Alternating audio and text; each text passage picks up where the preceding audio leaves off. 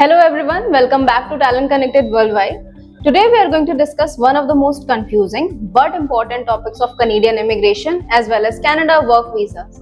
I'm talking about LMIA. If you want to know what LMIA is, this video is for you. What is LMIA? LMIA stands for Labor Market Impact Assessment.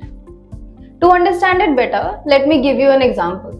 सोचिए कि अगर किसी Canadian employer ने आपको एक job offer की है अब कनेडियन गवर्नमेंट को कैसे पता चलेगा कि वही जॉब ऑफ़र किसी कनेडियन सिटीजन या कनेडियन परमानेंट रेजिडेंट्स को ऑफ़र की गई है या नहीं? This is what an L M I is for an L M I is a document issued by the employment and social development Canada or E S D C it can either be positive or negative A positive LMIA means that if a Canadian employer hires a temporary foreign worker, it will not be harmful to the country's labor market.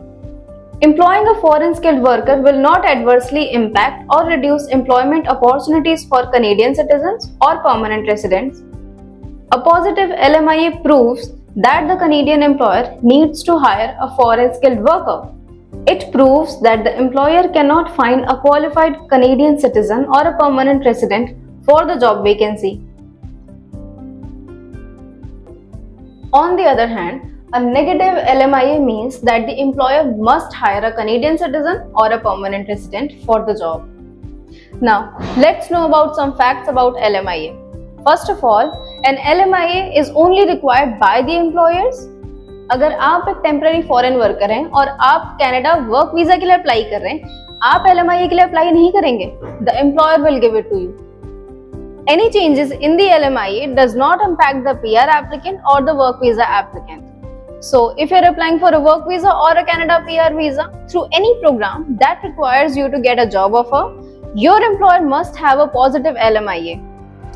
Thirdly, all Canadian employers must get a positive LMIA if they are hiring temporary foreign workers, unless the jobs are LMIA exempt. Once the Canadian employer gets the LMIA from the ESDC, they must send its copy to the temporary foreign worker. Thank you so much for watching the whole video. I hope you now know what an LMIA is. In the upcoming videos, we will talk about the cases where you do not need an LMIA to apply for a work visa or a PR visa. Also, if you want to get verified information on Canadian immigration, don't forget to subscribe to our channel. See you in the next video.